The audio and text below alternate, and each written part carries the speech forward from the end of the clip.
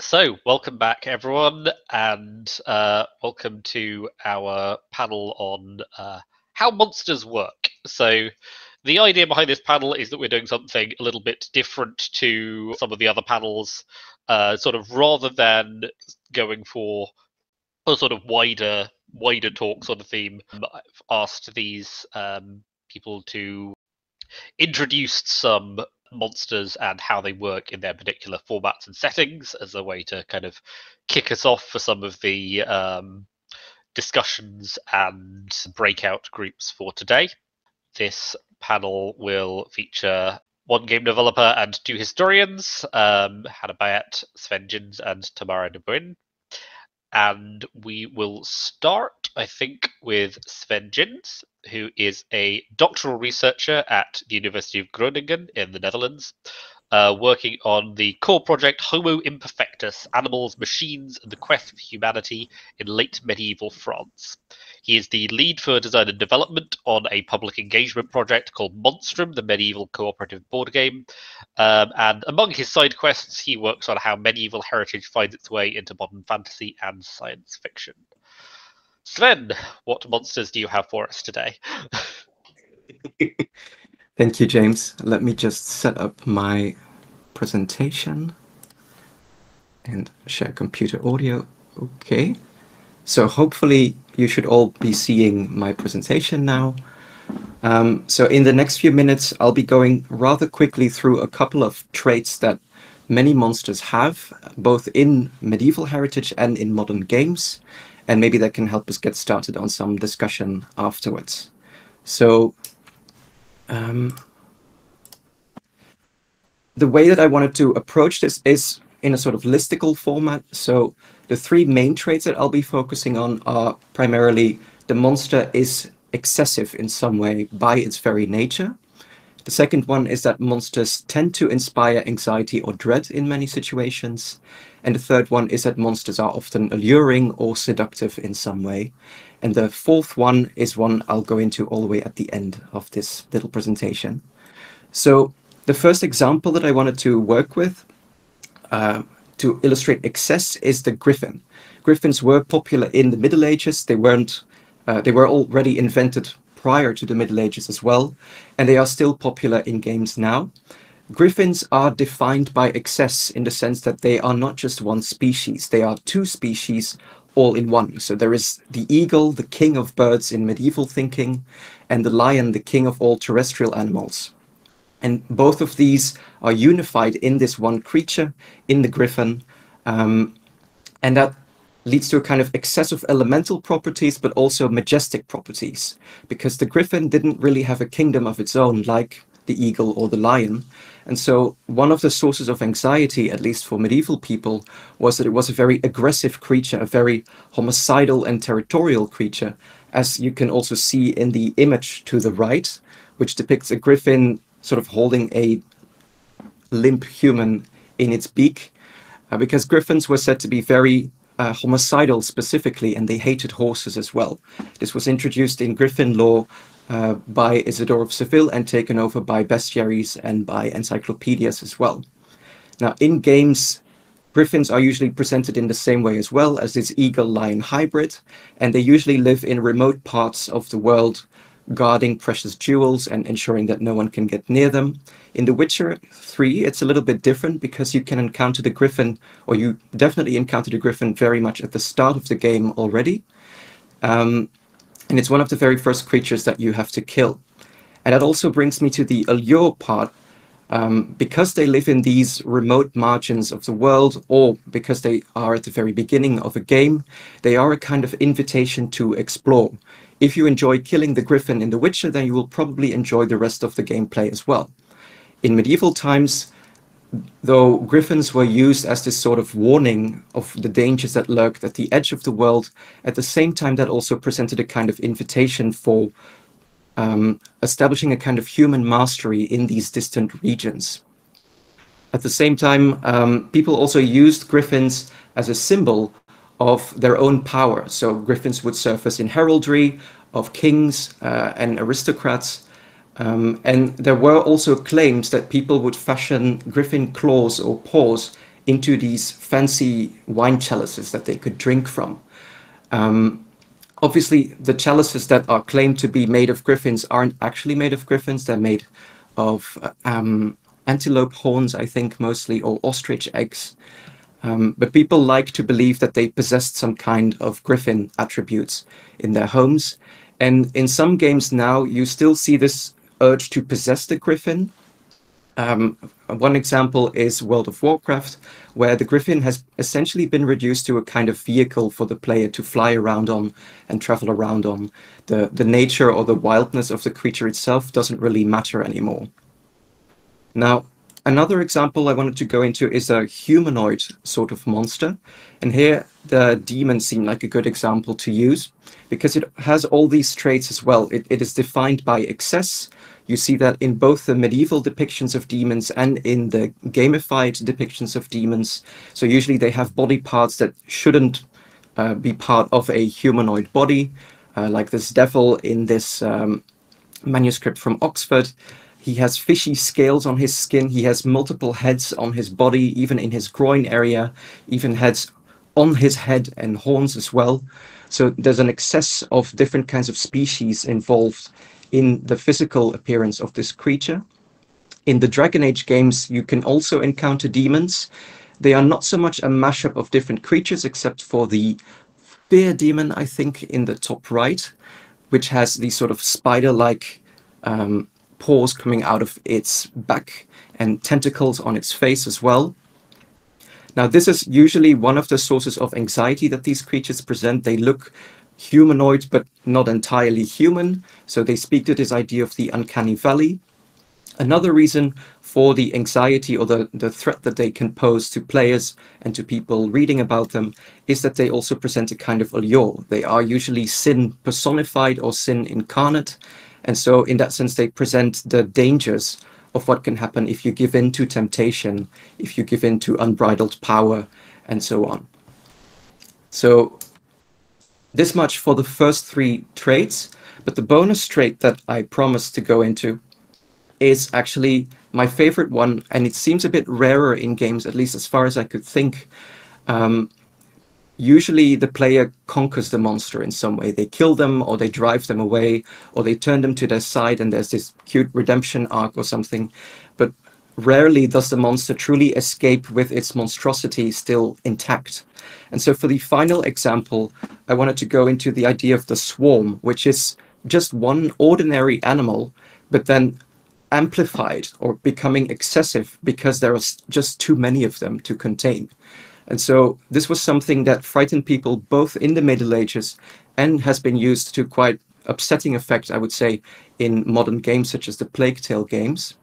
Now, in the Middle Ages, the reason that these creatures were so scary or frightening was that um, swarms of rats or swarms of locusts or snails even would feast on the crops of people um, and eat their winter harvests, basically.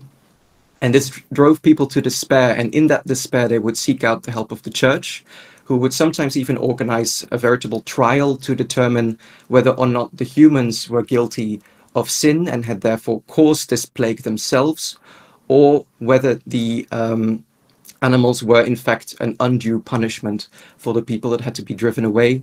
And in many cases, the trial did end with the creatures being ritually banished so then they would hold a procession through the fields of these villages or, or, surrounding these villages to drive away the creatures, hoping that that would finally relieve them of this swarm. In Plague Tale, it's a little bit different. Here, it's this huge horde of rats that brings the plague with them, but they can also eat people in just a matter of a few seconds. So there, there's this like sort of tsunami entity, especially in the second game, that um, streams into cities and villages and just consumes everything it can get its little paws on. And one advantage that this game has as opposed to medieval heritage, is that it has its sound included. So the rats also have a sonic identity in the sense that they make these chittering sounds that help you recognize that you are probably going to be in danger very soon. And they even have a musical theme of their own. So you uh, have a very distinct identity for these rats as a monstrous creature in the game. And to illustrate that, I wanted to show a short clip from the second game curfew is still in effect. Go back to your homes. What's going on? Tell us the truth. Enough lies. No, run!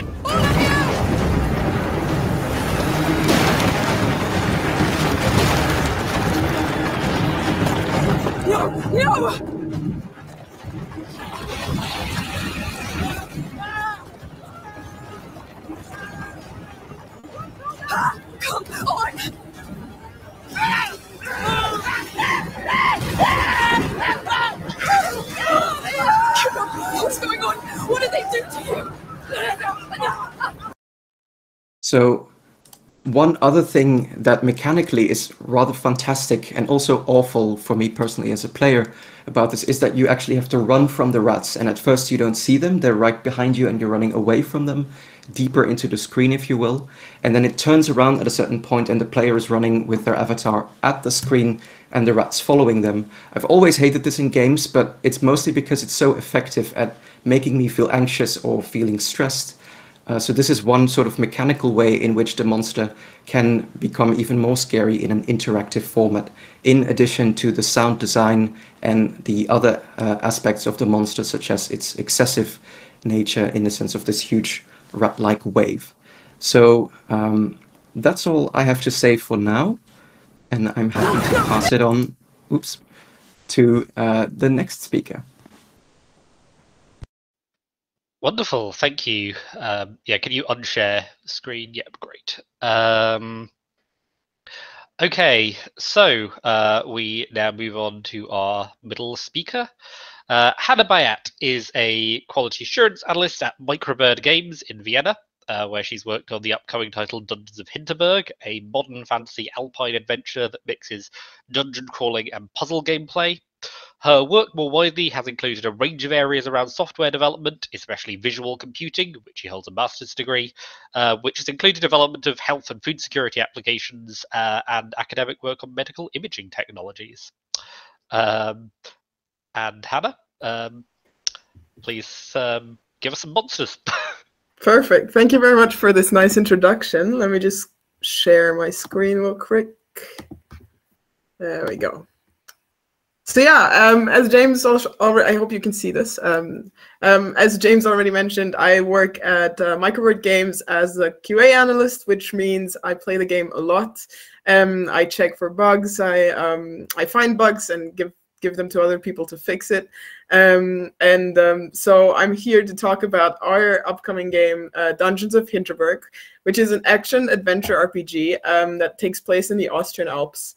And um, yeah, basically the synopsis of this game uh, is um, it's about Luisa, um, a lawyer who um, is taking a break from her busy life in Vienna and um, has arrived in Hinterberg, where where there's 25 dungeons and magic all over the place um, which you get to crawl in. Um, so it's a bit of a bit of a dungeon crawler. Uh, you get to uh, get new magic skills in different areas, um, and it's also a bit of a life simulation game where you can talk to the local locals and, and build relationships.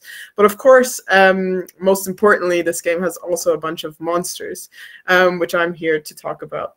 Um, yeah, the monsters in Hinterberg are mostly based on uh, Austrian mythology and legends. So some of these might be um, might sound familiar to you.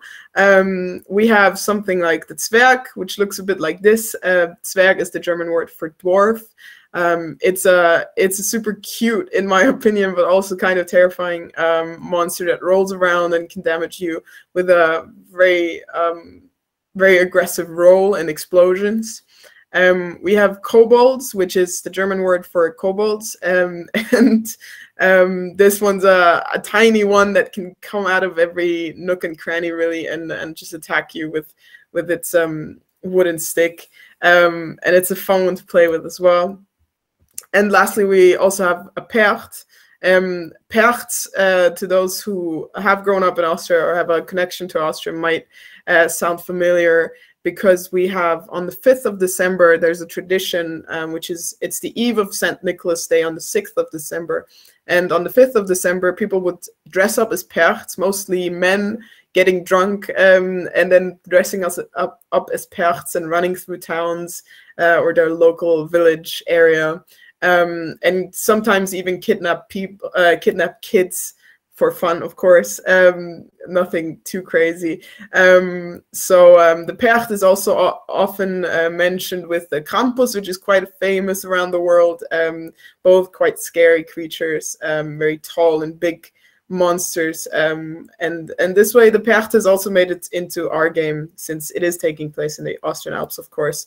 So we're drawing uh, a lot from Austrian mythology.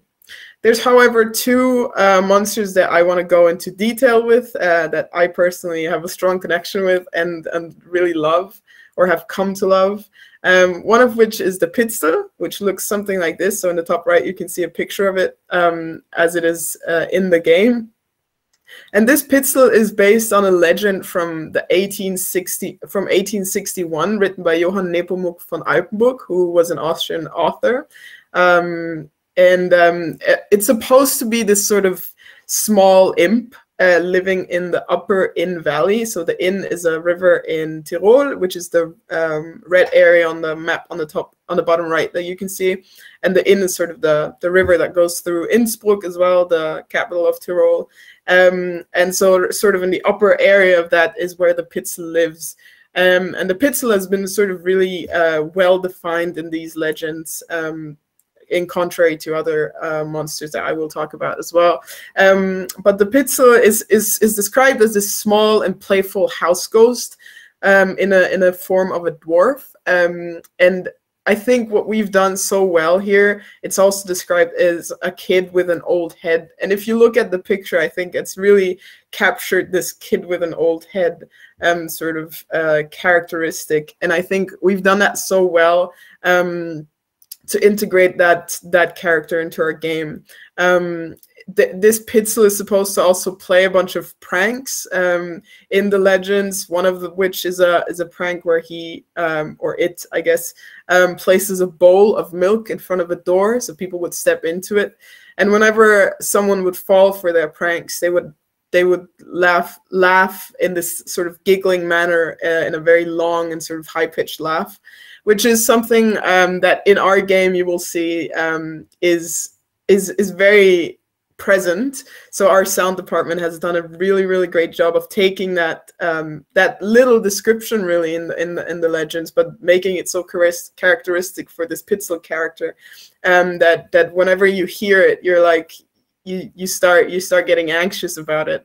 Um, and and what I love about these Pitzels as well is that we've taken this this story and and the little sort of clues of what we had, but our artists and the game designers and, and our coders and and the sound department have made it such a, a great sort of uh, coherent character and monster um, that it's really fun to to beat. And and they have this uh, locking attack that I'll I'll show you in just a bit that makes you hate them with a passion which I also always love whenever you have a character in game that you're like I hate you with a passion, but you make the game so great. And and if you think Dungeons of Hinterberg without the Pitzel, it doesn't quite work.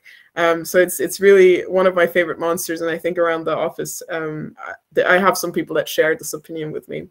Um, so we do have, since the game is in early develop or in development, um, I can't share too much about it, but we do have a sort of very small, short video that I hope you will be able to see a bit. I will try to um, wait before I before I let the sound talk here. Okay, so you can see hopefully on this very small image um, that the the the Pitzels have these sort of um, the sort of projectiles that they um, that they shoot you with, the the little ones that are bouncy a little, and then this spinning attack that really um, can get you um, really bad sometimes, um, and it's really fun to fight them. Really, so uh, you'll have you'll have different monsters in a in an encounter, and then when whenever a Pitzel shows up, you're like, okay, now now the game is on, and uh, now I have to take out my um, my skills here. Um, so I'll leave this for one more round so you can have a bit of a look. I hope you can see it. Unfortunately, it's only in in the in the phone aspect. But um, yeah, moving on to another monster that we have in our game, uh, which we call the Hobangoas. Um, depending on where you are in in Austria or South Germany, Bavaria, there's varying interpretations of the Hobangoas and also um, different spellings. So some call it the Habergeist. And um, as I mentioned the Percht before, this Hobangoa is supposed to be, according to legends, a Percht's pet. Um, so you will also in in the in the tradition of the Percht run see these Hobangoas alongside the Perchts running through villages um, and and kidnapping kids every now and then um, in a in a fun manner, of course. Um, and Hobangoas have this um, have this um, saying that one, once you spot one, it's a bad omen for you. And um, they are described as these tall goats with horse feet, which is uh, a nice sort of uh, uh, circling back to what Sven was saying. It's a mixture of two animals. Um, and it's people would dress up as these hobangoas in the in the Percht runs um, with a mask like you can see on the bottom right. Uh, this was actually one that you can buy online apparently, and um, they have they, they, they would dress up in a way so they would stick up um, a stick into this these masks so they appear very tall, and um, these hobangoas are very terrifying in the legends as well. However, in my personal opinion, in our in our game, I think they're quite cute. Um, and I've gotten that response from playtesters as well who have who have tested the game a bit um, to give us some feedback that that they are quite cute. Um, but I guess they can be quite terrifying looking at how they how they have some some really bad attacks.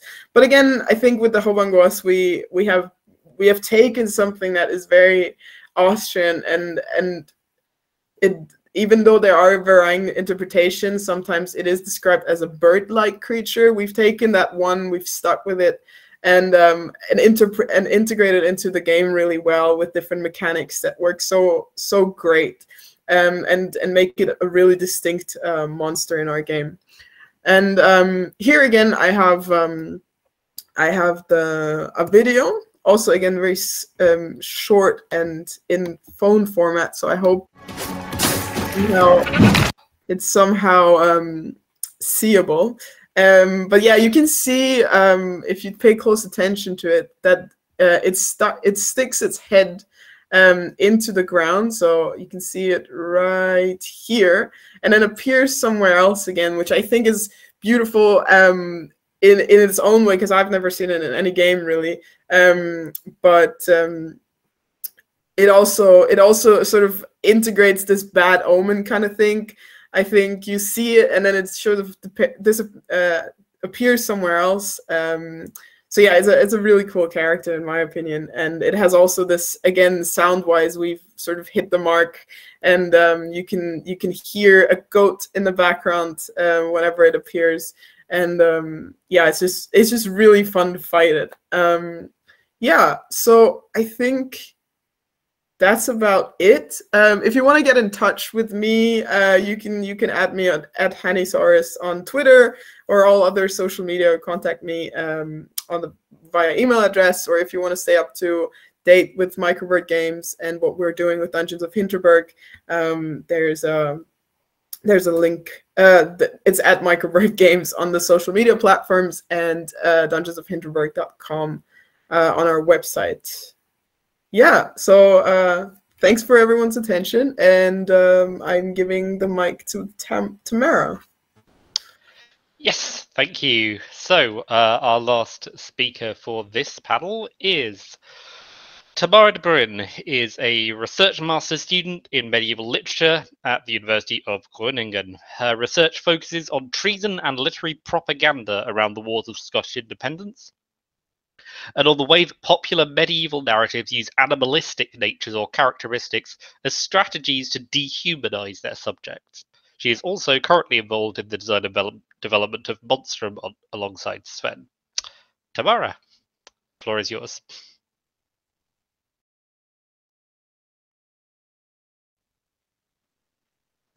Yes, can you guys hear me? yes. Awesome. Okay, um, hi uh, everyone. Uh, I'm going to uh, talk about uh, the monstrous female or monstrous femininity because um, uh, working on bestiaries, uh, you discover that a lot of the, the evil qualities of, of monsters or of animals are um, in women or in the female characters. So, uh, and you can't discuss female uh, representation in games, I feel, without looking at Medusa or at Gorgon. So, uh, yeah, let's do that. Um, Gorgons and snakes and spiders, anything of that like that uh, is of course scary. And I will show some uh, pictures of uh, monsters in games, which are can be quite gory. They tend to be on the horror side. So if you don't like that, um, do skip away because there's quite some boobage as well. It's it's all ingrained in the in the monstrous feminine. Um, so it's alright to be do not feel comfortable with that. Um, but yeah, these uh, what I want to talk about are female monsters, particularly the Gorgons and the brood mothers from Dragon Age, and how um, their animal uh, properties, their, anim- their visual and physical properties, uh, dehumanized properties essentially, contribute to a grotesque form of femininity, and how how that really makes one entire monster. How it emphasizes the monstrosity of the feminine in a way. Um, and I want to start with this little example of uh, Medusa from the Clash of Titans uh, movies. Uh, on the left, you see the 1981 uh, depiction and the remake from 2010. And both of these are uh, Gorgons, uh, as you can see by their hair. They're Medusa, um, and they have they have a snake-like body from the waist down.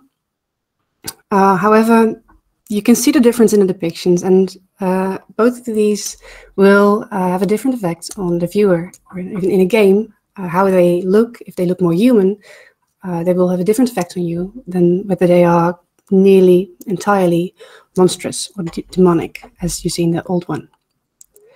Um, a lot of people say that, uh, oh, you know, Clash of Titans did it first with the Medusa as uh, an entire snake. Um, but the Greeks did it first. In in in, uh, in essence, uh, there was the Lamia, who was originally a woman who went mad after losing her children, uh, and she became bestial after abducting and killing other children. She's often said to, have a, the behind of an ass or a horse or a snake. Uh, there's no images of uh, the woman as a snake, uh, but well, it's uh, it was already a theme, and this theme we see in other medieval tales as well.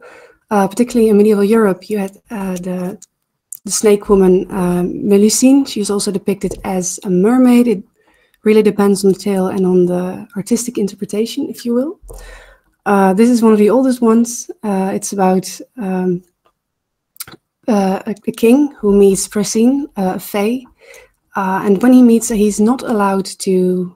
there's one fight, one fatal condition. He's not allowed to see her birth her children or bathe her children.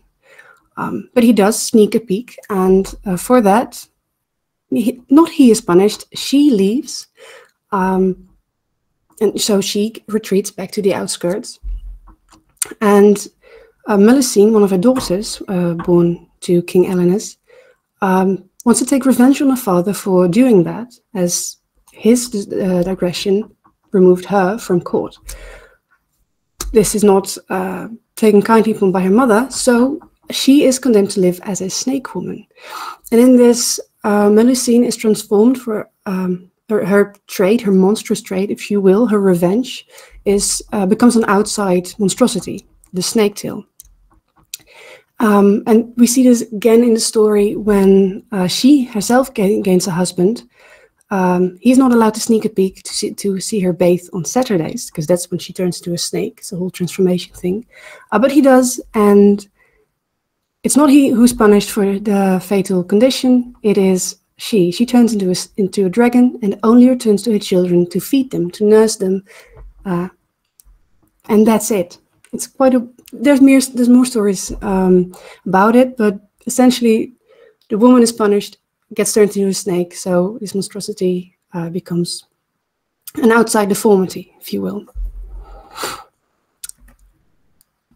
Yes. And this deformity we see a lot in games, uh, and it's because it's quite monstrous. Um, I have a few examples from the God of War series, uh, who used the Medusa image, so the Gorgon with the snake heads, uh, as well as the the Lamia or Melusine um, image with the snake as a body. Um, these Gorgons in God of War have as, as a backstory that they are women who were beautiful uh, but committed infidelity. And for that reason, they were punished. Um, and as a breed, as a breed of punished women, essentially, they um, they now roam temples and other places that you, as the main characters Kratos, uh, find and kill. You're meant to kill them. They're always the enemy, and they're always um, well out to kill you. Uh, they have, uh, like the Gorgon Medusa, they can petrify you, and you are meant to rip their head off and use their head as a weapon to petrify others. Uh, lest you forget, they're feminine, uh, they're female monsters originally, because they're all female monsters. Uh, you see their breasts. And you see that again in God of War Ascension, later game. Uh, these are still monsters. They grow even more monstrous, essentially, as they have cobra heads. Um, but lest you forget, these were women who were punished for their sensuality. Uh, they have uh, the, upper, the upper torso of a, a woman, much like you see in the medieval depictions of Melusine. However, there are also different kinds, and this is where the territory gets a little bit mon- little more monstrous. monstrous um, as you also have snake women who are mothers, which is far worse than just being a snake woman. Uh, in this case, this is um, Euryale, also uh, from Greek mythology, essentially, uh, who is described as being morbidly obese, um, having green skin, fat, sagging breasts, and uh, well, punishing. And she is out to punish Kratos for uh, not only punishing, not only killing her sister, but uh, for killing her brood, her children. She is uh, monstrous in all types of ways, not just in depiction, but also in the fact that she um, is ugly, essentially. Okay, I should maybe give a trigger warning for this. This is the brood mother. Um, so where Euryale is still a snake woman, a gorgon, and very ugly, um, she is evil. You must defeat her, um, and you kind of want to because she is um, vile and monstrous, animalistic. She's more animal than woman. This goes for the brood mother as well, except for the fact that these monsters, as you see them with their um, uh, growths, their multiple sagging breasts, and their uh, tentacle like uh, limbs, these were once human women or humanoid women who um, were violated themselves. So they did not commit a violation. It was uh, done upon them, and they paid a price uh, for that. Uh, if you ever played during Dark Souls, Dark Souls, did I say it? it's Dragon Age, right? That's my. Sorry. Anyway, um, there's this when you enter their lair, which is like fleshy and womb-like. You uh, encounter encounter these monstrous, uh, these fe- these feminine monsters monsters, um, and you learn that they were once women who then became um, brood mothers through cannibalism and uh, eating blood of the darkspawn or and eating flesh and through cannibalism and through bodily fluids they become the monster they consume and through their consummation they turn into something far less than human and are reduced to being literal brood mothers for uh, the dark entities that you fight, dark creatures that you fight, the darkspawn in uh, in the game. And this is, you know, it's it's excessive. Everything about these creatures is excessive. Where first there was only the sexualized uh, woman being punished, this is now a woman who is uh, punished in bodily transformations, uh, but also in the fact that she's becoming a mother at the hands of violations. You see there's a lot in uh, many games that um, not not just in games in literature as well, in which um, women, female characters, become monstrous by, of course, uh, by behaving in excess, whether they are uh, sexually promiscuous or whether they um, grow enraged. In the case of uh, mothers, and they are so dehumanized in their appearance. Uh, they're so far from what women ought to be. Essentially, uh, they're animalistic. They're animal creatures. It, it, becomes their out, outright uh, image, and it's so disgusting that you know you have to defeat them. You can never choose their side, um, even if you feel like oh these these are wrong creatures. You can never do that. It's always you're meant to encounter them and kill them. Uh, and what do these creatures represent? Is it uh, a male fear of castration, as Freud once said, or is it, um, in the case of the broodmother specifically, is it a fear of, you know, being reduced to uh, solely your uh, body parts, essentially? Um, so it's, it's. I'm very curious how other uh, gamers uh, encounter how female creatures and, and monsters and how uh, how any of this maybe is reflected in those as well because these are quite monstrous in the fact that they are animal and women at the same time which is what i wanted to look into so i'd like to open the floor i guess great thank you um, yeah thank you for three really fantastic talks that was uh, um, incredibly diverse and exciting uh, bunch of different um, creatures and terrors to be introduced to. So, yes, we can now open the floor to questions.